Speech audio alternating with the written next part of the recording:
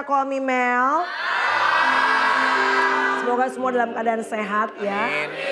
Sehatnya nggak cuma Yes. raga tapi juga jiwa. Betul, Ya. karena kesehatan fisik bisa terlihat tapi kesehatan mental terkadang tidak bisa ditebak. Betul?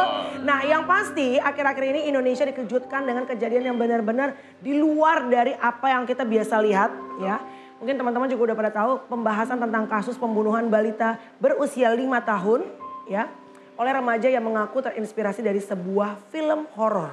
Betul. Jadi Oke. remaja ini dianggap terinspirasi melakukan tindakannya padahal sebenarnya faktornya bukan cuma itu saja Betul, ya. pasti Karena- banyak hal. Ya. Betul. Sudah dilihat beberapa catatan-catatan yang dibuat dan juga gambar-gambar yang lumayan menakutkan digambar oleh anak usia 15 tahun. Kita lihat tayangannya berikut ini.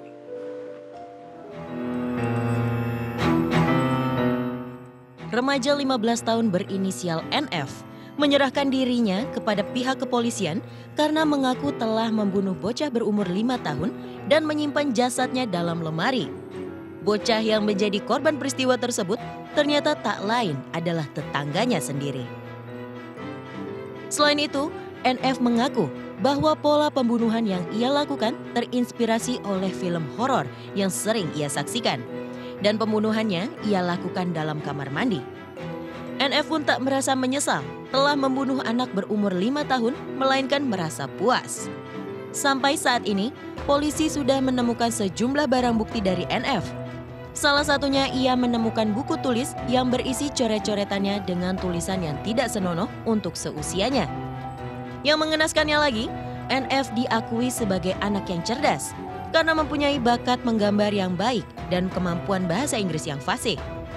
Apakah NF bisa diklasifikasikan sebagai remaja yang mempunyai masalah mental? Jangan ke mana-mana, tetap saksikan Call Me Mel. Baik, pemirsa Komimel untuk mengetahui apa sesungguhnya penyebab kenapa sampai anak yang berusia 15 tahun kok bisa tega-teganya membunuh. Bahkan ini adalah eh, disebut teman dari adiknya dengan cara yang amat sangat sadis. Nah, kita pengen tahu dari sisi seorang yang sangat profesional dan mengerti di bidangnya. Sambut sama-sama malam hari ini kita akan bahas habis mengenai kasus ini ya. Sudah ada di studio Komimel, ini dia Dr. Rose Mini Agus Salim MTS.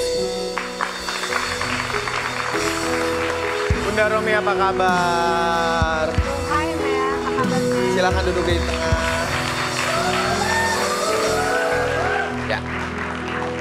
Apa kabar Mbak Romi?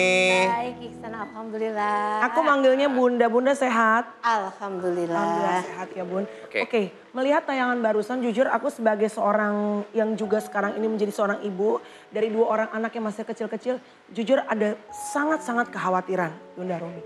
Nah, kalau kita melihat seperti itu, apa sesungguhnya sih yang memicu anak tersebut ya membunuh karena katanya ini konon akibat banyak nonton film horor, kemudian juga melihat komik-komik yang ya Bunda ngerti lah. Apakah emang betul-betul film-film yang ditonton seperti itu benar-benar punya pengaruh besar pada psikologi seorang anak sampai bisa membunuh secara sadis orang yang mungkin dia kenal? Hmm, betul.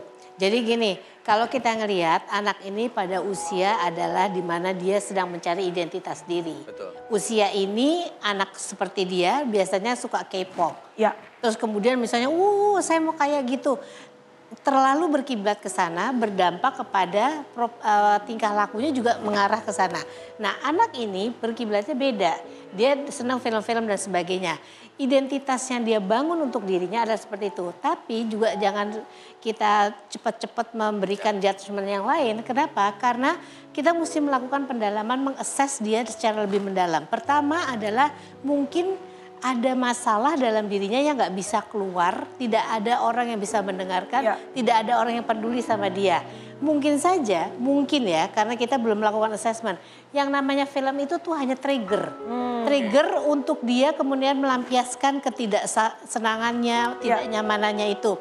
Dan ini kan tingkat bullying yang lebih tinggi. Anak ini yang dia bully atau yang dia bunuh itu adalah yang punya power lebih rendah daripada dia, sementara dia lebih daripada itu. Ya. Jadi mungkin saja perilakunya memang bisa seperti apa yang dia pernah tonton. Dan kalau dia nonton film Chucky atau film apa, setelah membunuh memang tidak ada yang kemudian sedih, tapi ketawa malah.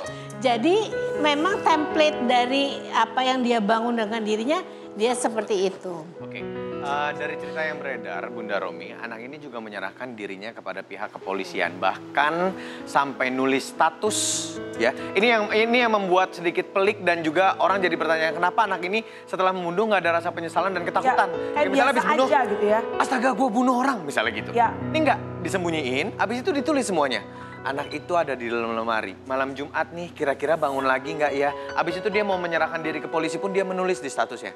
Gimana menurut pandangan seorang Bunda Romi? Ya, ini memang sesuatu yang tidak lazim. Betul. Tidak lazim dan tidak lazim juga karena ini anak usianya 15 tahun di mana ibaratnya dalam kehidupannya, pengalaman hidupnya itu masih sangat minim. Ya. Nah, tetapi dia melakukan ini mungkin juga karena salah satunya nggak ada orang yang memperhatikan dia. Ini momentum untuk orang melihat dan memperhatikan dia pada waktu dia taruh di status itu. Atensi. Iya. Ya. Tapi itu juga masih tentatif karena gini, anak umur 15 tahun tanggung jawab terberat itu adalah pada orang tua. Jadi yang harus ya. ditanya orang tuanya. Tapi yang paling berat itu adalah orang tua tuh harusnya membantu menstimulasi moral intelligence atau itu moral harus masuk ke dalam diri anak sejak dini. Kenapa? Moral itu bisa membedakan mana yang baik dan mana yang buruk. Ya, betul. Anak ini mungkin dengan melihat film itu pada waktu membangun identitas dirinya, dia nggak tahu yang dia lakukan itu adalah sesuatu yang buruk. Nah, ini kan yang harus kita telusuri juga dari orang tuanya. Apa yang sudah mereka lakukan? Significant others itu salah satunya adalah orang tua. Betul, significant others, orang tua, teman-teman terdekat, hmm. guru lingkungan okay. sekolah ya. Baik, Bunda Rom ini menarik sekali ya benar-benar ya karena kita benar-benar apa ya sangat-sangat penasaran apa yang dipikirkan oleh anak seusia 15 tahun ini seperti Isan bilang tidak ada perasaan panik, tidak ada perasaan bersalah. Bahkan ini ada gambar-gambarnya. Anak ini mengupdate status ya kalau nggak salah ya. Coba boleh coret-coretan di rumah. Coret-coretan. Ya. Bahwa tadi dia bilang boleh dikeluarin sekali lagi. No no no no yang sebelumnya yang sebelumnya. Ini juga nih. Ini yang tadi saya okay. bilang nih balita tak bernyawa itu masih di lemari. Ini ini adalah instastory ketika on the way uh, menuju kantor polisi pada saat mau menyerahkan diri. Oke, okay, saya pelakunya. Borgol saya Pak emotikon tanda tertawa dan mengeluarkan ibaratnya kayak melet gitu loh. Ya, terus? Penjara atau rehabilitas. Wow, sama okay. sekali kayak nggak ada feeling ada lagi? guilty. Ada lagi? Boleh dikeluarin lagi kata-katanya tadi kita pengen lihat sama-sama. Nah, nah ini coretan-coretannya teman-teman ya.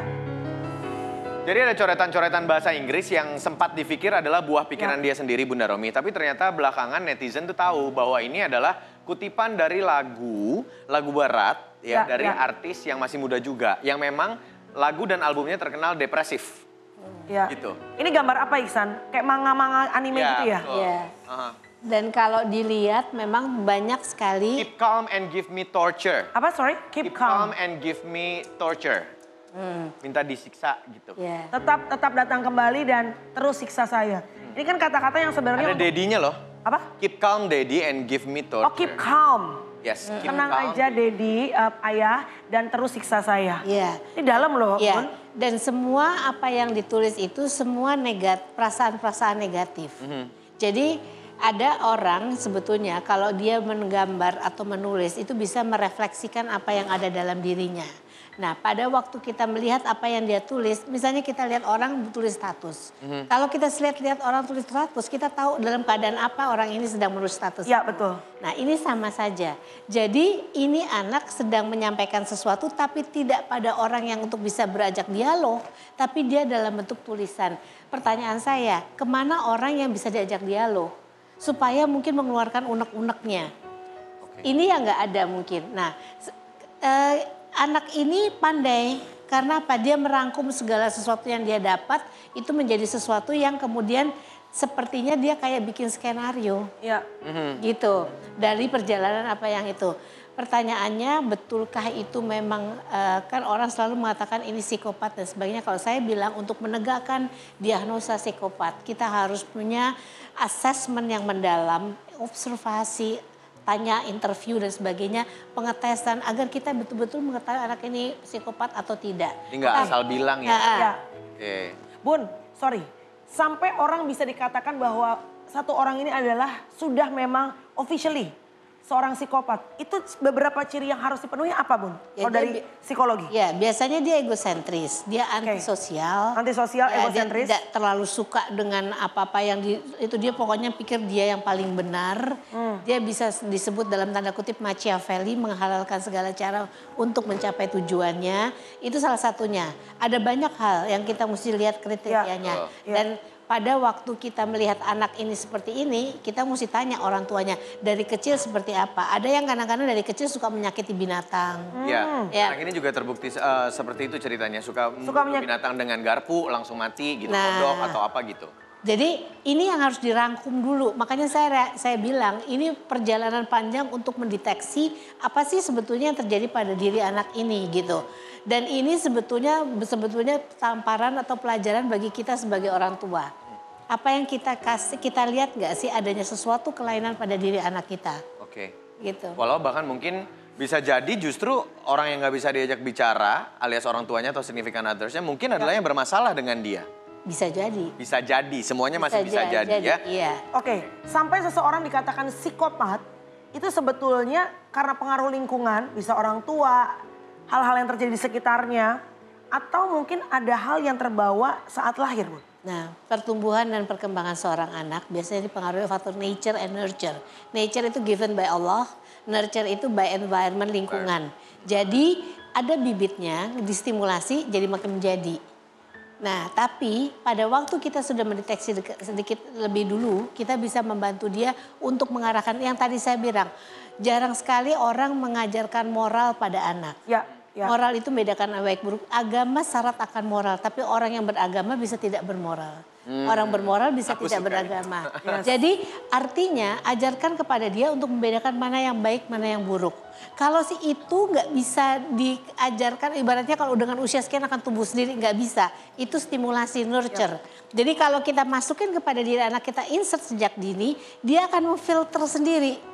Oh ya ini nggak bagus ini, ini bagus gitu. Tapi kalau kita tidak berikan itu daripada dia dan tidak ada stimulasi sama sekali, dia tidak akan pernah tahu mana yang baik dan mana yang buruk Iya. gitu. Ada nggak sih kalau misalnya dari kecil sebenarnya sudah diajarkan A ini baik, B ini Tapi buruk, tetap. tapi tetap di, di di masa remajanya, di masa dewasanya tumbuh menjadi yang seperti ini.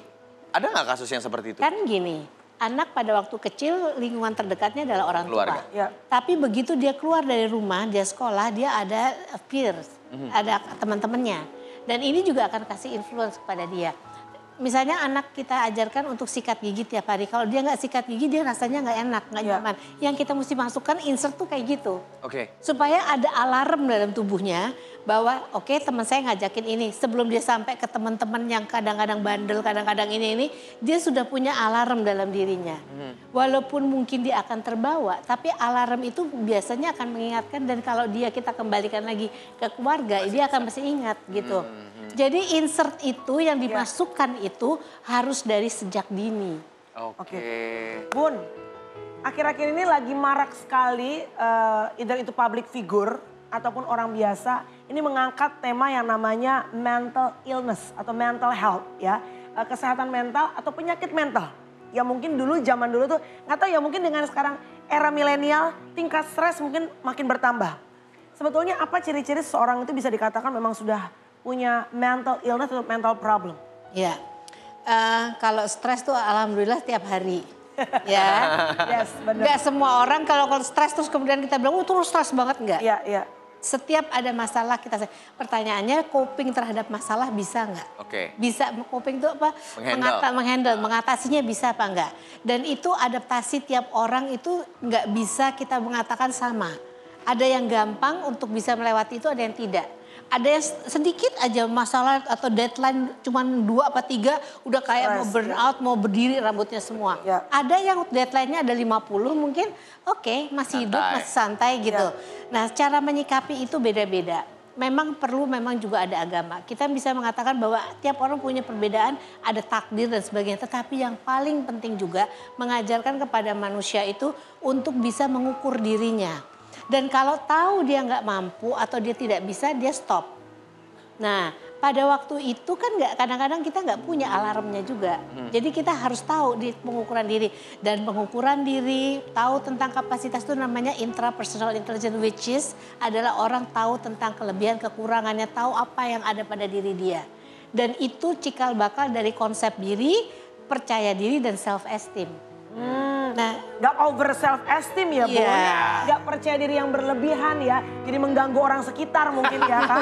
Alias kepedean Iya, ya. karena orang nggak pede juga nggak bagus, susah untuk maju. Tapi over self confidence alias pede berkelebihan juga ganggu loh buat orang sekitarnya, ya. Oke. Baik, eh, mau ada eh, artikel lagi atau lagi? Artikel? Udah nggak ada. Oke, Ya. mungkin Bunda nih eh, ada pesan nggak untuk masyarakat tentang hal ini? Untuk para ibu-ibu yang punya anak di usia yang serupa mungkin. Atau mungkin ibu-ibu seperti Melani anak-anaknya yang masih kecil-kecil gitu Ya. ya. Silakan. Bu. Ya, jadi pertama ini saya bilang tadi kasus ini harus jadi pelajaran bagi kita orang tua Ya. bahwa yang namanya pendidikan, stimulasi, terus juga kasih sayang itu harus ada.